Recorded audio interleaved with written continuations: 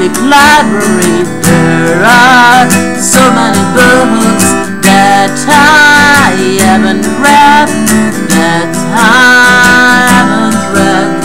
So my life is too, too short. I need immortal, immortal, immortal.